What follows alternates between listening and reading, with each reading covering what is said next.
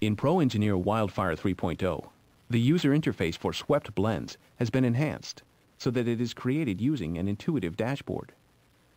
Relevant options are also in the right mouse button menu, providing the flexibility of using the dashboard for a guided approach or using shortcuts in the right mouse button. The swept blend now uses the dashboard, which consolidates all feature types to one interface.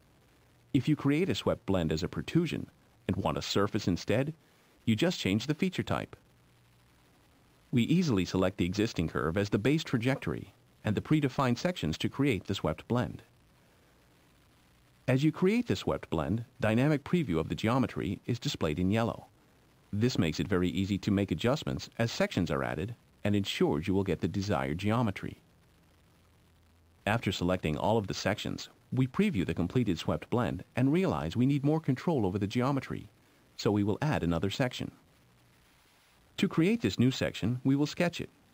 In Pro Engineer Wildfire 3.0, the sketching workflow has been redesigned so that fewer menu picks are needed to set up a sketch.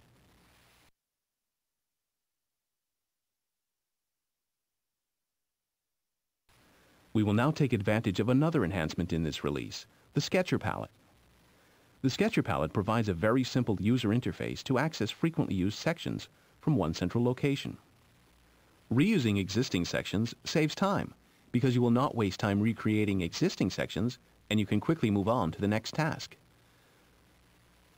As you have noticed, the new user interface provides a very intuitive workflow for creating swept blends.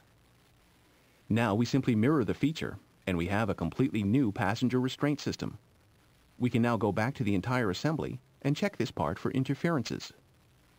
This mimics the workflow in other areas of Pro Engineer, making it easy for experienced and novice users alike to use Pro Engineer.